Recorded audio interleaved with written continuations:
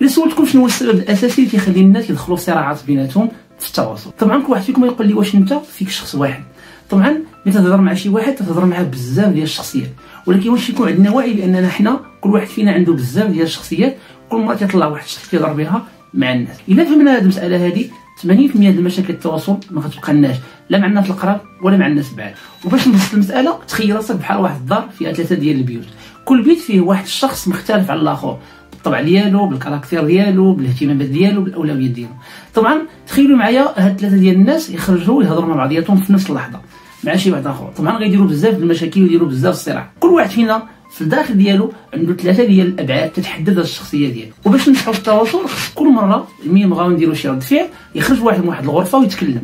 ولكن تخيلوا معايا ثلاثة الناس اللي كاينين كل واحد فيهم في غرفة اللي عندهم اختلاف الطبائع واختلاف الاهتمامات والأولويات كلهم يخرجوا بدقه واحدة أو يخرجوا بشكل غير متناسب دابا أجي نعرفوا شكون هما هاد الناس اللي ساكنين داخل أو هاد الشخصيات اللي كاينين معنا وحنا في بعض اللحظات ما تنعرفوهمش ما تندركوهمش وخاص تعرفوا كاملين بأن أول مرة عرفت فيها هاد النظرية هذه بقيت نضحك على راسي بزاف لأن كثير من المواقف وكثير من ردود الافعال كنت نديرها باش عرفت هاد النظرية ديال إيريك بيرن اللي هو عالم النفس الكندي ذو الأصول الأمريكية.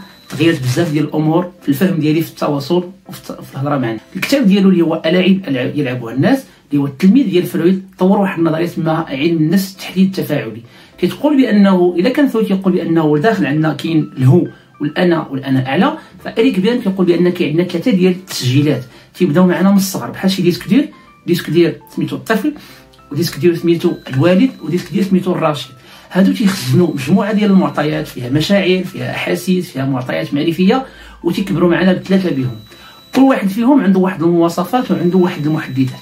أول حاجة تتكلم عليها إيريك بيرن هي الطفل الداخلي. إن كل واحد فينا عنده مجموعة ديال المشاعر مختزنه عنده في النفسية ديالو. هاد المشاعر فيها مشاعر ديال الفرح ديال السعادة ديال الخوف. لأن كاين الطفل الحر اللي هو تيدير ما بغا وما تيعرفش المسؤولية وما تيدير حتى شي حاجة وكاين الطفل اللي هو المقموع هو اللي تيحس بالخوف اللي تيحس بالحقرة اللي تيحس ولكن هذه كلها مشاعر كاينة عندنا مخزنه واخا تنكبروا تتبقى لاصقه فينا. وباش تاكد الفكرة هذه شوف عمي الحاج اللي تيكون مثبت ودائما تيبان لك معقول. في العرس ديال بنته تينوض تيشطح بحال شي درا صغور اذا ذاك الطفل وديك المشاعر ديال الإنسيابية والحرية في رد الفعل وفي الحركة تتبان في مجموعة المواقف الناس اللي هما تيبان لك أنهم كبار وفيهم الواقع. هذا تيدل على أن كل واحد فينا عنده واحد الطفل صغير تيبغى أنه ينشرح تيبغى أنه مرة مرة يعيش واحد الاستقلالية واحد اللامبالاه وما يفكر في حتى شي حاجة يدير شي حاجة بحال سلوك ديال الطفل. ثم كاين الحالة ديال الوالد. هذه الحالة ديال الوالد الراعي تتمثل ذاك الجانب ديال المسؤولية ذاك الانا التعليمية داك الشيء اللي نتعلموه من الصغار ديال تحمل المسؤولية ديال التنظيم ديال الانضباط. ديال دير هذه وما ديرش هذه كاع ديك الانا التعليمي تنتلقاوها وحنا عندنا عام وحنا عندنا ثلاث سنين تيكبر معنا وتولي جزء من الهوية ديالنا. واللي بيه تنتعلموا الحب والتقدير والاهتمام والمسؤولية بالعائلة ومسؤوليه الاصدقاء والمفهوم ديال الاحترام والمفهوم ديال الأخوة. هذه المفاهيم كلها تنكتسبوها من الانا الوالدية أو الانا التعليمية كما تسميها إريك بيرن ومن جهه أخرى كاين الوالد الناقد. وذاك الوالد الناقد هو اللي تيمارس النقد وما تتعجبو حتى شي حاجة. وتكون الإنسان في بعض اللحظات يقول أنتم تحترمونيش أنا كبير أنا كذا تندير تنعيا ما ندير في الخاطر تنعيا ما نساعد. أي واحد تيلبس هذا الدور هذا فهو تيمثل الانا ديال الوالد الناقد يعني ما عجبوش الوضع ديالو ما عجبوش القيمة ديالو داخل المجتمع. هاد الجوج الحالات تيقول إريك بيرد مهمين ولكن الانا اللي هو ديال الوالد الناقد سلبي خصوصا في السلوكات التربوية لأنه تأثر سلبيا على التواصل مع الأبناء أو التواصل مع العائلة. وهاد الحالات أو هاد التسجيلات كل حالة عندها واحد المؤشرات حركية وعندها مؤشرات لغوية. مثلا الحاله ديال الطفل شنو هي أنه إما تكون حالة ديال الانكماش أو حالة ديال الفرح أنه دائما تعبر بواحد الطريقة فيها الانشراح فيها الحرية فيها ما فيهاش قيود. ثم الحالة ديال الوالد فيها النقد فيها توجيه الأصبع فيها آه، تقطيب ديال الحاجبين فيها واحد واحد لي غريمات ديال الجدية ديال المسؤولية. ولكن هنا تتبان واحد المجموعة ديال الصراعات تتوقع لنا كذا مرة في التواصل أنه جوج الناس جالسين في القهوة واحد لابس الحالة ديال الطفل. يعني مرتاح داك الصباح فايق وشرب قهوة مرتاح. جا الصديق ديالو لابس الحالة ديال الوالد الناقد مع الصباح الخدمه مع الصباح المرأة. فملي تيجلسوا مع بعضياتهم تخيلوا هذاك لابس الحالة ديال الطفل تيتهكم على أي حاجة تيضحك على أي حاجة يقدر يجبد شي قصة يضحك عليها والآخر طالع له الدم ومعصب طبعا هنا يقدر يوقع واحد ال conflit اللي هو بسيط هو أنه واحد لابس واحد الحالة هي فيها انشراح فيها راحة نفسية اللي هي حالة ديال الطفل والآخر لبس يعني ال contrôle ديال الجسم ديالو والعقل ديالو لابسوا الحالة ديال الوالد الناقد. فهنا تيوقع واحد ال conflit وتيوقع واحد الصراع في التواصل في ال communication. وهذا الأمر هذا تيوقع حتى بين الازواج بين الاباء والأطفال ديالهم بين العائلات حتى داخل سوق الشغل بين المدير والموظفين. هذا الشيء كله تيوقع بعد أننا ما تنفهموش تقنية التواصل والتحولات الفيزيولوجية والغريمات ديالنا وكيفاش أنها تتأثر على الشخصية ديالنا. دابا تقدروا تسولوني فين هي الحالة الثالثة اللي هي الحالة ديال الراشد. هذه الحالة الراشد علاش خليتها الاخرى لأن هي تحاول دير واحد التوازن. كما سماه فلويد الأنا. ديك الأنا هو اللي كيعطيك التوازن ديال شخصيه الإنسان. بين الأنا الأعلى اللي تيمثل القيم وال valeurs ال valeurs ديال المجتمع وبين ديك الهو اللي هو الطبيعة اللي هو الغرائز اللي سماها فرويد سماها l'ego يعني كاع ما هو غريزي طبيعي في الإنسان. ولكن دابا قلبنا المعادلة. فهذيك الأنا هي الراشد تيمثل داك الجانب العقلاني. ما تيكون شي واحد يهضر معاك بمنطق بارد الدم ديالو. تيحل الأشياء بشكل موضوعي. تيلبس واحد الانا اللي مرتبطة بالجانب المنطقي والعقلاني.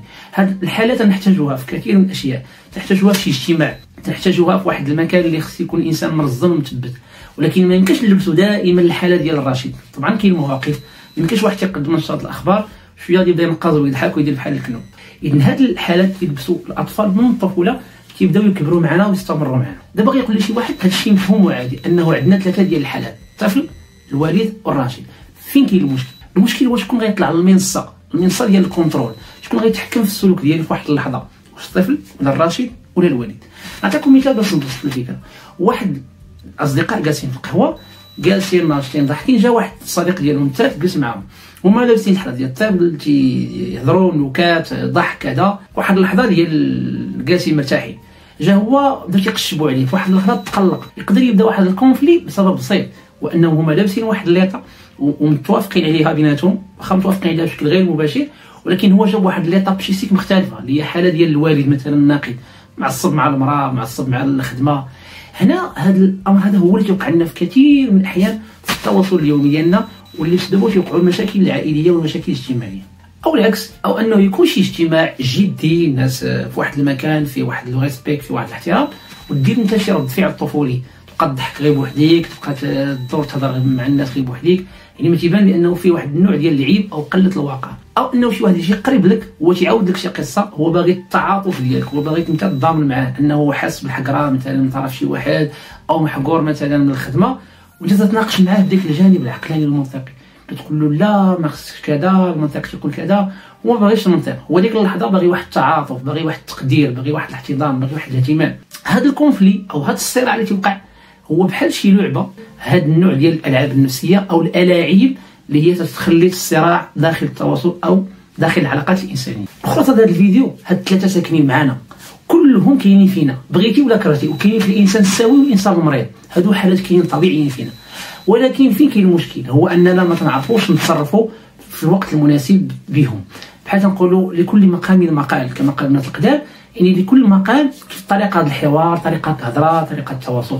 فإذا تعلمنا كيفاش نعرفوا الناس اللي قدامنا شنو هو الحالة النفسية اللي كيهضروا بها واش الطفل ولا الراشد ولا الوالد أغلب الأحيان غننجحوا في التواصل سواء كان تواصل اجتماعي سواء كان تواصل مهني وحتى التواصل العاطفي. يعني العلاقات العاطفية غننجحوا فيها لأن غنفهموا الطرف الآخر شكون تيهضر معنا باش نقدروا نخاطبوا اللي كيتهضر معنا. هذا الفيديو هذا كان مجرد ملخص بسيط لهذه النظرية هذه وهاد الثلاثه هادو هما اللي تيخلقوا لنا كثير من المشاكل النفسية.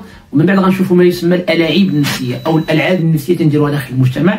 كما تيقول الكاتب هذه النظريه هو إريك بيرن كتاب ديالو ألاعيب يلعبوها الناس.